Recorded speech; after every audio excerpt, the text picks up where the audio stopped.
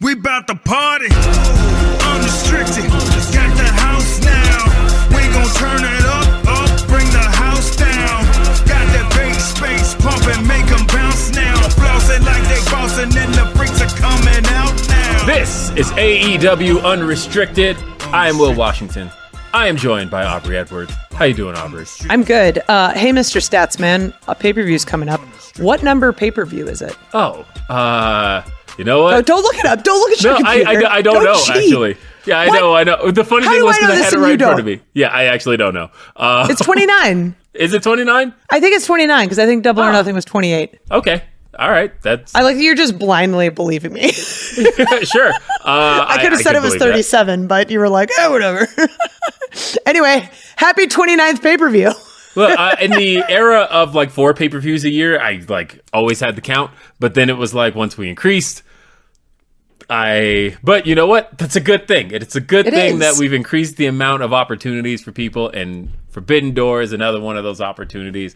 And by the way, happy Pride Month. Yes. I realized right before this show that I hadn't gotten to wear this shirt on the show yet, and I realized I had to do it. So, Right. uh, here we are. It was one of those like Speedy did a bunch of uh, Pride photo shoot stuff with the LGBTQ talent backstage, and I just got a photo that earlier this week that I posted. I was like, "Oh, June's almost over." Like, almost forgot. Not like you can't celebrate Pride all year long, but there's something about doing it in June in particular. Right, exactly. And and that, like I said, it was one of those. I've worn this shirt on the show pretty much all year, but I realized, oh, I have not worn it in Pride Month, and I should wear it. So here we I wore the Forbidden Door shirt. That's a dope shirt. I have that shirt in a drawer, and I was thinking about pulling that out, and I thought, I bet you Aubrey's going to wear it, so therefore I should not. But hey. Forbidden Door. It's an incredible time every year. Uh, this is the third Forbidden Door. That's that I've got correct. Hey. And I've been at every Forbidden Door. Look at that. If you're watching the video version, the poster from the first one's right here. Uh, but it is a co-production of New Japan Pro Wrestling and All Elite Wrestling. It is the one time a year that we get to come together to put the show together. But for the first time, we also have other promotions joining in the fold as well. We've got some representation from Stardom. We've got representation from CMLL. This is going to be an awesome show. I'm really looking forward to it. And I think there's no better way to start off talking about this card than actually with the AEW World Championship, which I know some people have looked at this match and gone, now, wait a second, this is two AEW guys. um, and uh, we're talking about the AEW World Championship being defended. AEW's World Champion Swerve Strickland defending the title against AEW International Champion Will Ospreay. But when you think about Forbidden Door, there is only one man who I think truly embodies the Forbidden Door, and mm-hmm. that is Will Ospreay. He Thank is you. the Forbidden Door. When you think about the first Forbidden Door, this man stealing the show with Orange Cassidy, and how can Will Ospreay actually steal the show when the show almost belongs to him 90% of the time? But at the same time, there was so much else on that card that nobody was expecting that match to be the match. And that was one of my matches of the year in 2022. And then last year, of course, the expected rematch with Kenny Omega. And we knew they were going to deliver, and those guys tore the house down. Forbidden Door belongs to Will Ospreay, and I can't think of a better person to represent Forbidden Door in the main event than as the challenger for the AEW World Championship. But he's got his hands full against a world champion who's really just getting started in Swerve Strickland here at Forbidden Door. I think this match is going to be amazing. These two have so much history together. And I mean, you go back almost 10 years with these guys, they've wrestled up and down the independent scene. They are legitimately very close friends. And you know, this was one of those matches that I think everybody knew they were going to see at some point. I don't think Forbidden Door was what people were expecting. And yet, here it is right in front of us. One of the biggest matches, if not the biggest match AEW could offer at this point. Aubrey, how are you feeling about Will Ospreay and Swerve Strickland? I think what I feel going into this match is I have no idea who's who's going to win. Like we've seen Swerve Strickland be a completely dominant champion. He was dominant in the ring prior to becoming champion. Like just his match with Hangman will forever be like seared in my brain in a loving way despite, you know, all the blood everywhere. But at the same time, has Will Ospreay lost a match since he joined AEW officially? No, he has not. Exactly. So it's like this could go either way. But Swerve Strickland has not been pinned this year either. And so That's true. That's true. And part of it too is that like we've seen Swerve Strickland in AEW for a long time, but we've also seen Will Ospreay in AEW before he was a part of AEW. Like Will Ospreay, before he even worked for us, was wrestling Yes. at Wembley. he is the true epitome of Forbidden Door because any door that's there, Will Ospreay's like, "Hey, bruv, I'm gonna just walk through it." Like he's that guy. But the person that is going to win in this match is the AEW fandom, the New Japan fandom. Anyone watching this match, they're going to win because this is going to be incredible. Absolutely. I, I, I can't think of. Uh, I, I can't think really of a better main event for Forbidden Door. I think that when you know one of the things Swerve talked about was the fact that he was on the zero hours of the first two Forbidden Doors, that he didn't get to participate in the main card of either show, and meanwhile, Will Ospreay was the guy at both Forbidden Doors, and Swerve spent the last year really building himself up and getting to the point of becoming the AEW World Champion. And now he's got the chance to not just be on the Forbidden Door card, but he's in the main event defending the AEW World Championship. But it's against a guy who has been making a very strong name for himself in AEW, and uh, he just won the International Championship the question of can he carry the weight of both worlds on his shoulders that's a thing that's in question but we at least physically saw when he snatched the belt from swerve just a couple weeks ago that he at least believes he can. And i think the aew fans believe it. There's very few wrestlers in this world where they could be a part of a company for just a handful of months and already win one belt and conceivably win the biggest title at the company. And Will Ospreay is that guy without question. Like it it makes sense on paper, it makes sense on billboards, it makes sense everywhere.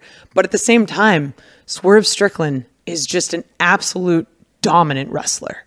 And this match is going to be incredible. Absolutely is.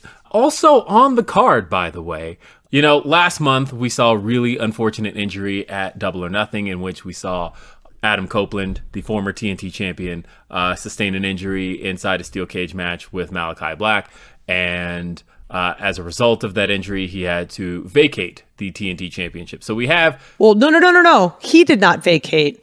The executive vice presidents, Matthew and Nicholas Jackson, forced him to vacate the title. Let's give credit where it's due because Adam was a wonderful Yes. champion. Uh, absolutely. He was a phenomenal champion. I think that what he was doing with that belt, the run he was on with that belt, nothing short of incredible. And I also just was- don't want to get fined, so I want to make sure that our executive vice presidents are, you know, uh, the work that they do for us is Yes, properly very true. And so, what's interesting is with the belt being vacant, uh, and it's very rarely been in that situation. We've rarely ever had belts vacated in AEW. They have been, but it's it's very rare that we've seen that happen. And so, uh, this introduces an incredibly uh, unique situation for AEW, and we've got to crown a new TNT champion. And the field in this match is made for ladder matches. When you think about Mark Briscoe and some of the the ladder warfares he's had with his brother, and when you think about guys like guys like Dante Martin, a man who made a name for himself in ladder matches. He's uh, extreme high flyer. He also sustained an injury in a ladder match, and I think has something to prove here. Uh, you think about Lio Rush, somebody who again is extremely fast paced, fast moving. He's got so much speed and agility that it is almost tailor made for being a part of a ladder match. But then you've got Konosuke Takeshita, and Konosuke uh, Takeshita, excuse me, has uh, he's got the strength, he's got the size, he's got the power, and that is something that you want to see in a ladder match. But he's also got that speed and agility as well that also lends itself to a ladder match. Then you've got Jack Perry, a guy who also not a stranger to ladder matches, not a stranger to ladder matches in AEW, and a man who was about to be handed the TNT championship until Christopher Daniels stepped in and made sure that that wasn't going to happen. But when you think about all of these guys combined, this to me makes for the perfect combination for a ladder match in AEW. So, as a fan, I love ladder matches because you get all these different guys who have different wrestling styles and different backgrounds, different histories, whether or not they've crossed paths. And you basically just throw them in a hardware store uh, combined with a wrestling ring, and all hell breaks loose. And it's fantastic. As a referee, uh, I am not a fan because they they are brutal. They are awful. I have seen horrible things happen close in because people are fighting literally for their lives with hardware. And it's one thing to say like someone really, really wants a title, but I think we see that primal nature of wanting to get that title when you have a situation like a ladder match. And I think it does something in people and it brings out a different side of each of these competitors. Like, I love Mark Briscoe. He's loving, kind-hearted, wonderful guy. The moment you throw him in a ladder match, you're you're in for it. Like, oh.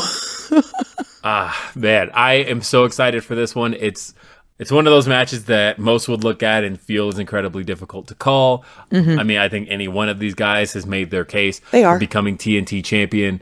And no, I think it's an exciting time, and I think this is going to be one of those matches that that probably goes out of its way to steal the show. And I think mm-hmm. every one of these guys has something to prove here. Another match happening on this card that you know part of the allure of Forbidden Door is the dream match, the match that people didn't think we could see.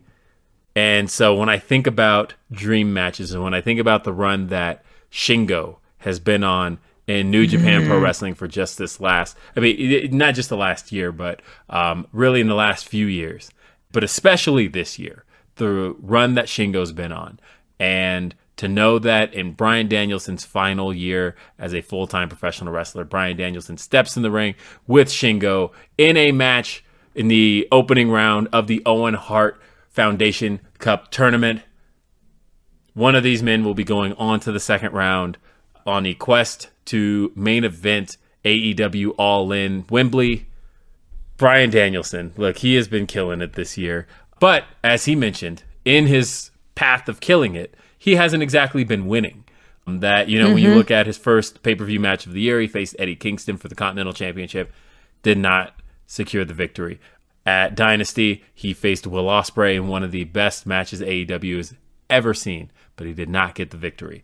Anarchy in the Arena was just that. It was anarchy. Uh, Team AEW, the elite, head to head in a match that Bryan Danielson extremely familiar with. Mm-hmm. But he did not get the victory. And at this point, Bryan Danielson has everything to lose going forward. This is not how Bryan Danielson wants his career in AEW to end. And he has a goal of making it to All In. He has a goal to making it to Wembley and becoming the AEW World Champion. But in order to do that, he has to get through Shingo. It's kind of shocking that we're almost a year after I can't remember exactly. You probably know the exact time and place that it happened, but when Bryan said this was his last year as a full-time wrestler. It was last October, yeah. There you go. It's it's we're coming up on that year now. And I think all of us are kind of looking at this going, "Oh, oh, oh, oh no." Like e- each time we see Bryan wrestle now, like this might be the last time that he wrestles in that state. I was actually just talking to my friends this past weekend when they came up to Everett. They're like, "Yeah, Bryan gave a speech at the end of the show." Like, well, and I kind of explained the whole thing. Like, they're very casual wrestling fans, but to know what this kind of means to Bryan's career, like, there's so much happening in this match. There's just Bryan, who he is as a wrestler, who he who he means to wrestling in general. There's the chance to main event all in Wembley. There's the fact that this is the opening match for the Owen Hart Cup tournament which is an incredible, incredible partnership that we have with the Owen Hart Foundation. There's so much in this that it's easy to lose sight of this one pure moment of, oh, this might be the last time we get to see Bryan wrestle as a full time wrestler in New York. It's kind of crazy. And and one of the things is, you know, we're talking so much about Bryan, but also Shingo. Again, talking about what Shingo has been able to accomplish here in AEW and not just in AEW, sorry, but what he's been able to accomplish in New Japan Pro Wrestling this year, I think has been nothing short of remarkable. Uh, an incredible match with Gabe Kidd just about a month ago, a month and a half ago. He has been doing some incredible work. I think Shingo is on one of the best runs of his career, and to be in there with Bryan Danielson, I think is a dream match that so many people didn't think they'd get to see. And I, it was on a lot of people's fantasy cards. You would see like, oh, when mm. when Bryan Danielson works New Japan, who would you like to see him wrestle? And like Shingo was one of those names Shingo. you just kept seeing. And for Shingo to have the opportunity to face Bryan Danielson, possibly beat Bryan Danielson, and to get to move on to the second round, and possibly get to also go to Wembley. I mean, that's that's a dream scenario as well. This is one of those matches that, again this is what Forbidden Door is all about. This is why we have Forbidden Door. You get to see some incredible face to face matchups that you possibly would not ever get to see. This is exciting time. It's great. And I love all the weeks leading up to Forbidden Door and introducing all these amazing talent to our fan base. Like, I got to work with Shingo when he faced uh, AR Fox on Rampage, which was just not really being super familiar with Shingo, having seen some of his stuff, but then seeing him beat the living shit out of AR Fox up close, I'm like, oh, oh, this match with Bryan's going to be real good. and we've got so much more Forbidden Door to talk about. It's happening this Sunday live. It is in Elmont, New York City. It is, I guess, technically Long Island, uh, however you want to look at that. But on Long Island, you want to be there. UBS Arena, AEWTix.com is the way to be in the house for this show. But you also don't want to miss it from the couch of your home, the center of your home, however you decide to watch it on your mobile device. Uh, however, you're going to watch the show, you want to watch the show. It's available on traditional pay per view. It's available on ppv.com. It's available on Bleacher Report. It's available on YouTube uh, any way you can watch this show. Uh, oh, and also uh, Triller as well. Uh, any way Yes. you can watch this show, you should be a part of it. Forbidden Door, it's this Sunday. We've got so much more to talk about right here when AEW Unrestricted continues. AEW Unrestricted. It's Aubrey and Will. We're talking Forbidden Door, which is live this Sunday. It's traditional pay per view. It is Bleacher Report. It is Triller. It is PPV.com. It is YouTube. Uh, it is live at UBS Arena, AEWTix.com. You want to be there. We're talking about the card. And in talking about the card, we got to be talking about the AEW Women's World Championship on the line. Yes. Toni Storm defending the belt against a woman who I believe has been taking the world, no pun intended, by storm. By Storm. Uh, and uh, I think she has been, you know, everybody who comes across Mina Shirakawa, I think just falls in love from the standpoint of she just commands the screen in a way that I don't think a lot of people understood that she had the ability to, unless you were a stardom fan. I don't think you were necessarily of a full understanding of what she brought to the table. But a big part of Mina's story, of course, is the fact that she is a part of the group E Nexus V, which also had a previous name, Club Venus, and another member of Club Venus was one Mariah May. And Mariah May, now the protege of Toni Storm, I appreciate that the graphic for this has Mariah in both corners because at the end of the day, she is tied. she is tied to both. Uh, she is very loyal to Mina Shirakawa, but at the same time, Toni Storm uh, has very much taken a shining, a liking to Mariah May, and has taken her under her wing in a way that you know over these last eight months Under her think- wing, on her bosom, you know, Yep. it- it's, Uh, it's all kind of awkward. and for the AEW Women's World Championship to be on the line here, this was a match that I remember when it was first hinted at. Uh, it was back in April at the Stardom show, and yes, in Philadelphia. in Philly. Yes, in Philly, and we saw a reunion of our Club Venus members of Mina Shirakawa and uh, Mariah May, and then out came Toni Storm, and Toni Storm talked about a forbidden door possibly being open, and that crowd erupted. They knew exactly what they wanted to see. They wanted to see Mina Shirakawa taking on Toni Storm for the AEW Women's World Championship, and to get to see this match now, and again, it all comes down to me, I believe, where Mariah May's loyalties lie. it's always interesting having you know that that third person on the outside right but mariah is friends with both of these competitors and this is such a unique situation where you know as you kind of said like there's history with mina but who mariah is now and all of the acclaim that she's getting now is 100% due to toni storm and it's not lost on mariah she understands that there's you know connection with both of them but at the same time like everybody loves Mina. Like now that she's been around our locker room enough, I'm like, oh yeah, no, it's cool. I, I could see her as my champion. This is fine. I get it. But at the same time, I watch these Toni Storm promos where she is just losing her mind a little bit more every week. And the idea of Toni Storm one day not being women's champion makes me sad because I'm just so entertained by this iteration of Toni Storm. She's so fantastic. So, independent of the actual wrestling, because we didn't talk about the wrestling aspect, we're just talking about like who they are as people. Like, it's every time you have all three of these on screen, it's just there's so much charisma, there's so much love, there's so much sex appeal, there's so much everything. And it's so unique to any other match on the card.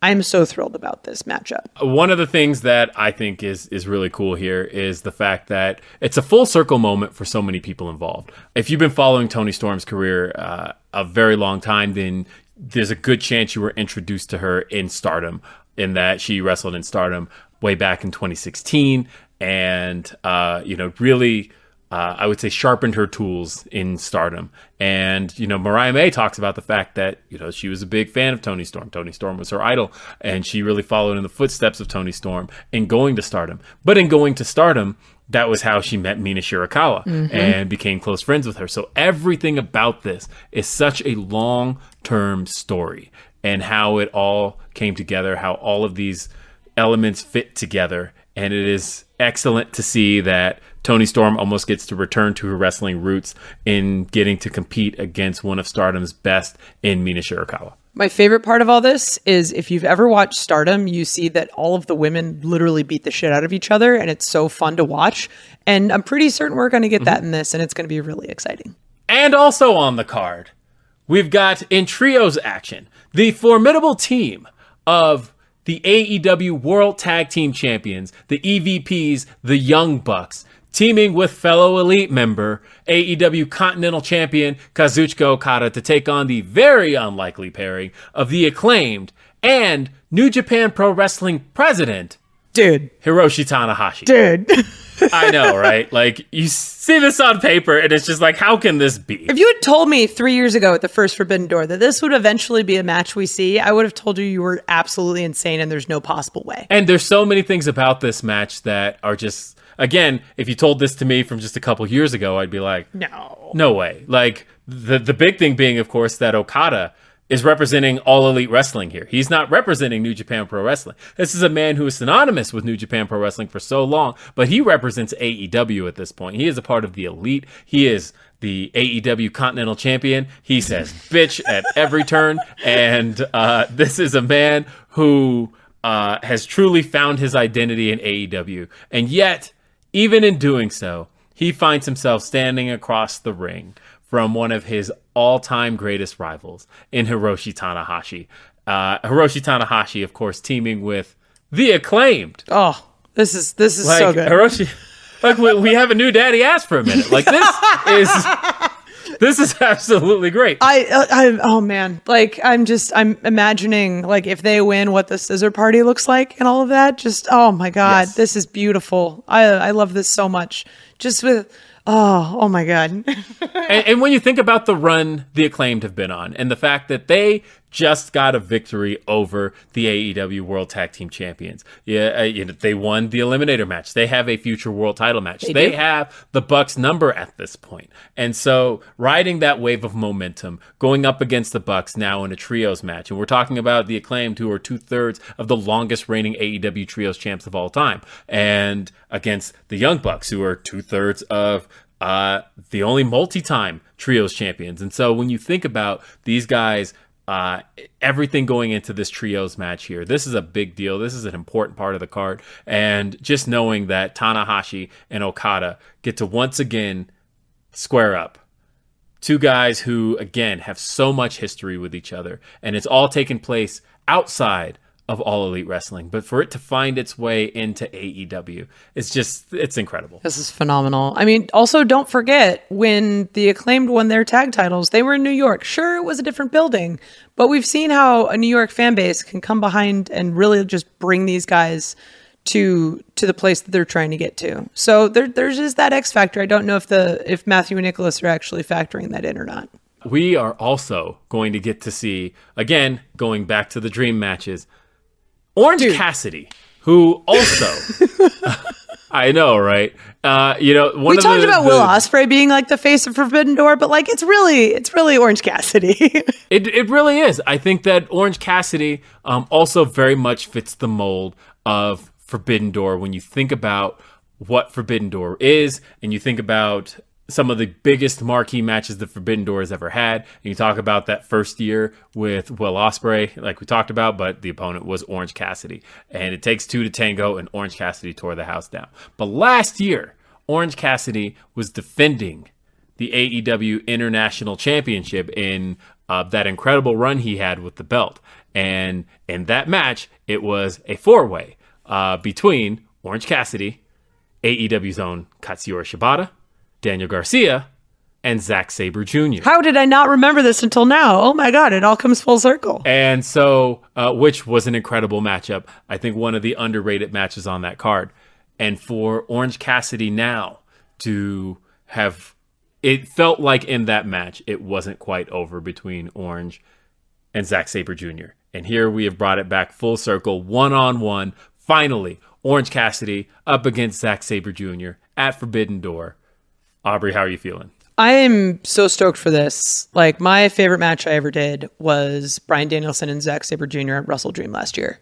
And I've had the opportunity to work with Zack a couple times since then and even before then. And he's a phenomenal wrestler. Bryan will say himself, like he does things that you just don't expect. Like you could do all of the tape study in the world when you're faced in the ring with Zack Sabre Jr. and he'll still bend something into a pretzel shape that you've never even saw coming. You can't come up with a way to counter everything he has because he'll figure out some new way to counter it in that exact moment. At the same time, Orange Cassidy is pretty much the most unpredictable person because he shows up at the ring kind of apathetically, not really looking to wrestle anyway, but then will out wrestle literally everybody. And both of them, like Zack, we know is an incredible technical wrestler, but Orange Cassidy has a great amount of technical wrestling acumen to him. I think this is actually a phenomenal matchup. I think the two of them have their styles like there's like a Venn diagram. There's the Orange Cassidy and the Zack Sabre Jr. and they overlap. I think more than people realize. And you know, um, Orange Cassidy, uh, you know, this is obviously a, a, very important matchup to him. But when you think about everything that's going on with Orange right now, and that he was just recently betrayed by his very close friends in Kris Statlander, he was we betrayed have to by Trent, and to think about to think about the fact though that you know that exists, right? And this is not an Orange Cassidy that we saw last year who was very focused on retaining his international championship. This is an Orange Cassidy who's dealing with the loss of his best friends and uh, and now has a very very hungry Zack Sabre Jr. on his tail. And when you, you've got that shark in the water that can smell blood, I think that Zack Sabre Jr. could potentially have his number here. I think this is a good matchup. It, it's a great matchup. Everyone's going to have a phenomenal time watching this match. I'm I'm stoked. I hope I get it honestly. I hope so too, actually. How can we watch this show, Aubrey? Oh man, we can watch the show in so many different places. You should, if you're able to, watch it live, AEWTix.com. You can watch it Sunday, this Sunday at the UBS Arena in Elmont, New York, Long Island, New York. Whoever, if you're MJF, it's at Long Island. If you're anyone else, it's Elmont, New York. You can watch it uh, on traditional pay per view. You can watch it on ppv.com. You can watch it on triller.tv. You can watch it on uh, Bleacher Report. You can watch it on YouTube. There's so many different places to watch this pay per view. This is our, we think, the 29th pay per view we've ever done, and each one somehow gets better and better. If you are not watching this pay per view, you're wasting your time because this is the best thing you could be doing this Sunday. And we've got so much more to talk about coming up on AEW Unrestricted.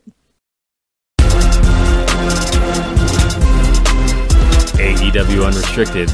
We're talking about Forbidden Door, which during the break decided to do a count because we were going back to the beginning of the show. We were talking about what number pay per view this was, and I didn't necessarily want to agree with certainty because there was a chance it could have been wrong, but we did it a count. Aubrey Edwards, this is the 28th pay per view coming up here. Correct. This is the 28th pay per view. Yes. I just wanted to, it doesn't matter what number it was. I just want to point out I knew a stat that you didn't. I thought I knew a stat that you didn't. there you go. But now we both know that this is the 28th pay per view in AEW history. And it's very likely, uh, based on everything we've talked about so far, uh, going to be the absolute best one so far. Yeah, uh, I think there's look, we've got so much more to talk about on this card. This is Forbidden Door. It is live. It is this Sunday. AEWTix.com. You want to be there in person. Get those tickets on Long Island, on Long Island, excuse me. And the reason I bring up Long Island is because you can't talk about an event on Long Island without talking about a man who made his return at the last pay per view, the 27th pay per view, apparently. Hey, The former AEW World Champion, Maxwell Jacob Friedman, is back in AEW and he is back on Long Island, UBS Arena. I once told this man that UBS Arena belongs to MJF. Mm-hmm. When you really think about the fact that this is an arena that opened in 2021, AEW has run this venue more than anyone outside of the Islanders. outside of the Islanders. and so when you think about how AEW has run this venue as much as we have, and the fact is, the one man who's been the poster child for every one of those events has been Maxwell Jacob Friedman, MJF. And here we are again. You couldn't have Forbidden Door on Long Island without MJF on the card, and he is going one on one with one of the best, greatest talents out of CMLL, Hechicero, a man who has recently formed an alliance with the Cage of Agony of Brian Cage and the Gates of Agony.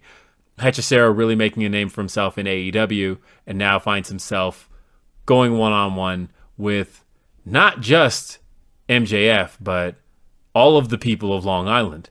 I think at one point it was described that MJF returning to UBS Arena is a lot like Bret Hart going back to Canada. Like it does not matter what he's done, he receives a hero's welcome. Like Yes. that is when everyone likes. I don't know if Hechicero knows what he's walking into. Right. Unless you're there, which you should be there live, AEWTix.com. Unless you're there when MJF comes out in New York, I, I don't think you can imagine it. Like how much he is seen as like a hero. And especially after everything he went through with the last year, defending his title, you know, historic reign, and then taking all this time off to just literally heal and being injured. Like we've seen him wrestle, I think, once since he came back Yeah, against Rush. against Rush, and Rush hits really freaking hard. yeah. so it's not like Max is really in a spot where he's at his best. Sure, we've got the people of New York behind him, but is he physically where he was the last time we were in New York? I don't know. I think Hechicero's got a really interesting uh, scenario he's walking into. And it's always an interesting sc- scenario with Max opposite anyone in UBS Arena or just on Long Island, period, because we did uh, Nassau Coliseum back for World's End. But nonetheless, Correct. it's always interesting, right? Because when you think about Max going up against Wardlow, being face to face, and Wardlow being an ex- extreme fan favorite at that point, but not against Max on Long Island. Nope. When you heard Max, of course, do his uh, his big band performance on Long Island, and, and Jack Perry, who at the time huge fan favorite, not on Long Island. Then you know going up against Samoa Joe for the world title. Granted, Samoa Joe did walk out with the title. Joe was one who knew how to overcome Max and the people of Long Island. So that's not to say he's unbeatable in this environment. And I think Hechicero if anybody can, could find a way to defeat MJF on Long Island. And like I said, it's his arena. This this arena belongs to him. mm is going to be in for a fight, but I think that you know he has been proving time and time again in his time in AEW in some of the battles he's had in AEW, getting in the ring with some of the best that AEW has to offer. He definitely has something to prove to the AEW audience in being in there with somebody as high profile as Maxwell Jacob Friedman. This is going to be great. I've had the opportunity to work with Hechicero a couple times as we've brought in luchadors from CMLL, and he's just such an incredible wrestler. He's quick, he's precise, he's hard hitting, he's everything that I don't think Max is ready for. I'm I'm really excited to watch this one. Well, another match that a lot of people are looking forward to, including myself, is the IWGP World Heavyweight Championship on the line. The IWGP World Heavyweight Champion Jon Moxley defending against the man he defeated for the title, Tetsuya Naito. Naito, of course, looking to regain the IWGP World Heavyweight Championship and to do it this time. Of course, Moxley did it on their turf mm-hmm. when he won the title, Windy City Riot, just a few months ago. And to now be on, I would say, kind of equal turf because this is a, a production of AEW New Japan Pro Wrestling. It's an environment that is that AEW has traditionally run, and uh, for Moxley to be defending it again against Naito, you know, we talk about so much being needed to be proven here, but I think that in this case, it is one of those when you're going back to challenge the man who defeated you for a world championship, there is so much to prove because you have to prove as the defending champion that my win was not a fluke. You have to prove that I deserve to hold the championship that I am walking around with. And thinking about the fact that Jon Moxley has to do this against the man who most recently held that title, I think is a challenge in itself. But knowing the prestige that surrounds Tetsuya Naito and the fact that he is synonymous with New Japan Pro Wrestling, it's synonymous with the IWGP World Heavyweight Championship. Uh, this again is the type of matchup where anything can happen, and I think Moxley is definitely going to be in for one of the biggest fights of his year. We were lucky enough to see Naito wrestle last year. It was one of the matches I did where it was him and Sting and Darby versus Jericho and his crew. And so Naito, the last time he was in Forbidden Door, got a win in his column. So this isn't unknown territory for him per se, right? Like he's walking in, the fans already know who he is, the fans know what to expect. The legend of Naito is at least known. A lot of times we have guys coming in where it's the first time our fans are seeing with him, they're familiar. Moxley, however, is a living legend. He has the AEW fans behind him. He comes through the crowd. They cheer him constantly. But I feel like with everyone in the room, we all know that these are two legends coming together in the ring on, we can say, equal turf. I don't know who's walking out the champion, but I know that the the mystique of the IWGP title will continue to be that, whether Naito holds it or whether Moxley hold it. 100% agree. But finally, title for title, our TBS champion, Mercedes Moné, will put her TBS championship on the line. And she's going to be defending it one on one against the New Japan Strong Women's Champion, Stephanie Vaquer. The interesting thing about this match is that the New Japan Strong Women's Championship, of course, was born uh, last May. And in a tournament to crown said champion, we saw two matches. Uh, one of those matches actually saw Stephanie Vaquer competing to potentially become the New Japan Strong Women's Champion. And of course, Mercedes Moné competed as well, and Willow Nightingale competed. The, that tournament ended up being won by Willow Nightingale that night, and she walked away the first ever New Japan Strong Women's Champion. But that, of course, left a chip on the shoulder of one Mercedes Moné because a lot would say that that belt was created for her. That she felt like that belt was created for her, and she did not walk away with that championship. And that championship has since passed hands. It was held by Julia, and then uh, later on, it's now been held by Stephanie Vaquer. And of course, it has found its way full circle back to being in the crosshairs of Mercedes Moné, who just won the TBS championship. But apparently, that's not enough gold for Mercedes Moné, and she wants her hands on the New Japan Strong Women's Championship. But at the same time, Stephanie Vaquer, I think, is one of the premier luchadoras in the world today, and what she brings to the table in any promotion she competes in, I think, always leaves an impression on people. And I think that for her to step into AEW in her first ever AEW pay per view performance, win the TBS championship. That's the thing Mercedes Moné just did, right? That was her 1st mm-hmm. AEW match, and she won the TBS title. To then lose it on her first pay per view defense against somebody making their first pay per view appearance, Oof. that's a poetic story. That's something mm-hmm. that, even as a fan of Mercedes's, I would say I would very much be interested in seeing. There's a lot at play here. Like you said, that there's, you know, this title in theory was created for Mercedes, right? I feel like if Mercedes was presented with a thousand different titles, it wouldn't matter because this is the one that is in her crosshairs because there's a story that is still to be told. And I feel like she's the kind of person, and I've, I've been fortunate to work with her a couple times now. She knows what she wants and she gets it. And that is what Mercedes Moné is about. She's just phenomenal. At the same time, my introduction to Stephanie was the same tournament you were talking about. I was watching one of the matches. And in the middle of it, I just say, How do I work with this girl? She's phenomenal. Yes. She's an incredible champion. And could I see her being the face of TBS? Absolutely. You've seen, if you see her wrestle just a little bit, you understand like how absolutely incredible she is. So both of these women potentially being the face of two different companies. Have we ever had a title for title in a women's division in AEW before? No, we have not. We have had champions competing against each other, but knowing that it's title for title and that somebody has to walk away with two championships. Somebody will walk away with two championships. Ah. This is an incredible moment. It's good. this is history. Guaranteed history is made here. Oh man, I like it's one of those things where it's just I'm I'm so excited to see this match play out. I have no idea how it's going to go.